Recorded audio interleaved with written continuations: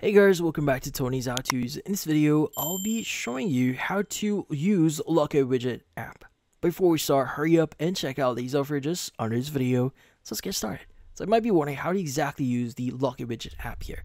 So in order for you to start using the Locket Widget app, we first need to create our account. So this one is very easy. Let's go and click on Locket and basically click on the create an account option. Now from here, we want to go and just enter or use or type in here your email address that you want to use that you want to uh, connect to your widget or Locket widget app here. Let's go and just enter your email address. Now, next is you want to go and just provide your password here. So it needs to be at least eight characters. Let's go and enter that here.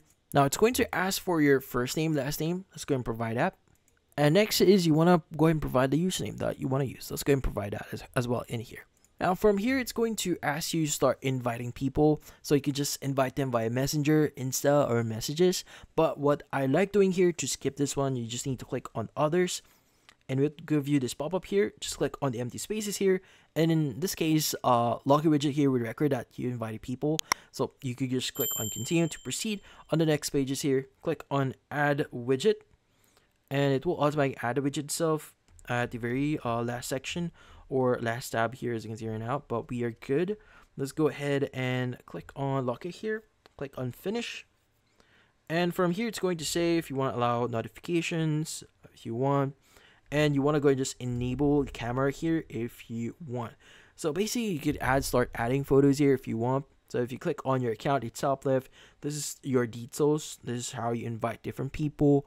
You just provide your username here, and they, they could actually add you into your account. If you want to add photos, just click on the plus button here. You choose from library, take your own photo as is right now.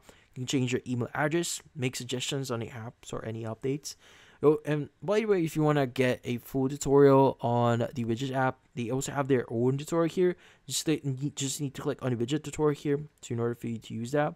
Also have the account visibility if you want to allow friends to add you via username as well. And also you have like about section here. It's like TikTok, Instagram, Twitter, and also share your Locket here and rate Locket. If you want to sign out, you have that option as well here. And delete your account, you also have that.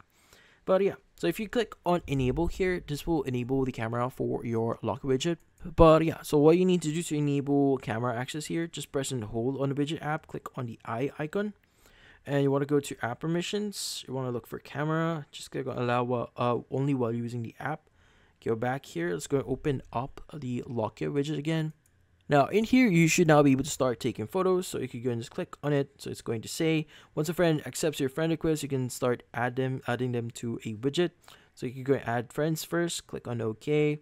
But if you want to add them in a different way, you can go and click on profile to top left, click on the share button here, and you can add them in whatever way you want, like uh, through uh, options here for different platforms, uh, through Gmail, have Reddit as well. But so that's how you start using here, uh, start using Locket Widget here, and that's about it. So if you found this video helpful, hit the like and subscribe button, and watch our next video.